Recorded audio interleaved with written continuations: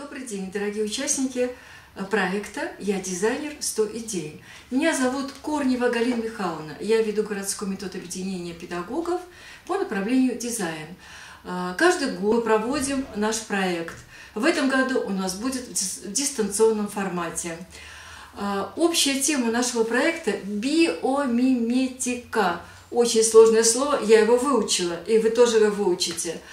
Это наука о э, устройствах, приборах, механизмах, которые заимствованы в живой природе.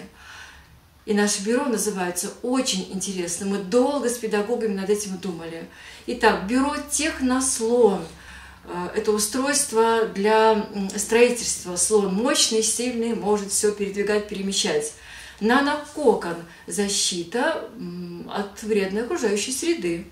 Эко-юж сбор мусора, которого у нас очень много везде, но так, что при этом еще не засорять окружающее пространство тем, кто это, тем устройством, которое это собирает.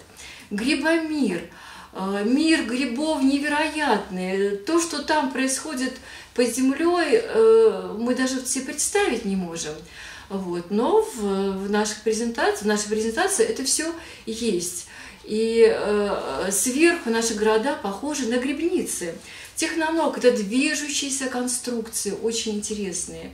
Биоаурелия – это, оказывается, название медузы по латин, на, на латинском языке. И э, медузы двигаются, складываются, это тоже можно использовать в каких-то ваших идеях будет. Техножук, летающее устройство, которое тоже может складывать крылья, распрямлять их и перелетать очень легко с места на место. Бронетех – это технические конструкции, которые могут сворачиваться, складываться, эм, перемещаться интересно. Э, вы послушайте презентации, которые мы подготовили педагоги. Выберите себе то проектное бюро, которое вам ну, показалось самым интересным. Можете переместиться, посмотреть одно, второе, третье, на чем-то остановиться или сделать сразу несколько, нарисовать свою идею, эскиз, потом можно ее вырезать, добавить к ней какие-то еще фрагментики, детальки, ваши комментарии. И все это можно приклеить на цветной лист бумаги и выложить в альбом, который у нас есть в группе для, специально для этой цели, чтобы можно было потом смотреть это все и радоваться тем идеям, которые вы придумали. И хочу не забыть э, сказать такую важную вещь. Весь наш конкурс проходит при поддержке, мощной технической поддержки городского центра детско-юношеского технического творчества города Колпина. Дети – самые лучшие фантазеры. Вперед!